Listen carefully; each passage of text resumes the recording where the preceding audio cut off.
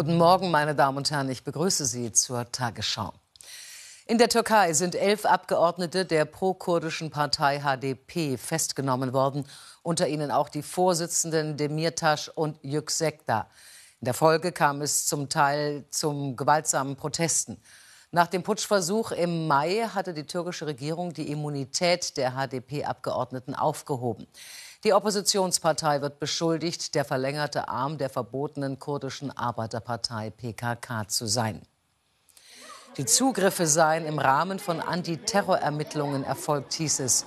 Den Abgeordneten wird unter anderem vorgeworfen, nicht wie angeordnet zu Befragungen vor Gericht erschienen zu sein.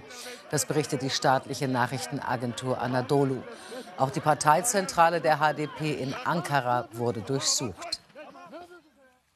Wenige Stunden später hat eine heftige Explosion die Kurdenmetropole Diyarbakir im Südosten der Türkei erschüttert. Der Justizminister gab an, es seien Zivilisten und Polizisten ums Leben gekommen. Genaue Angaben machte er nicht. Nach Auskunft der Behörden detonierte eine Autobombe in der Nähe einer Polizeiwache. Daraufhin hätten die Behörden eine Nachrichtensperre verhängt, berichtet die Nachrichtenagentur Anadolu.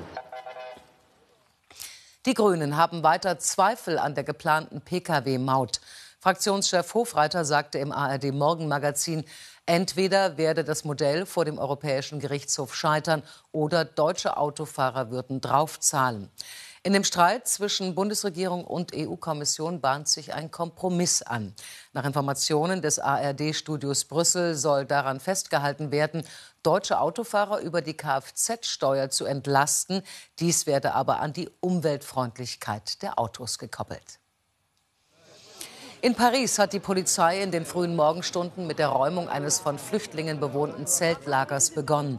Nach Behördenangaben sind 600 Polizisten im Einsatz, um etwa 3000 Migranten vorübergehend in Sporthallen zu bringen.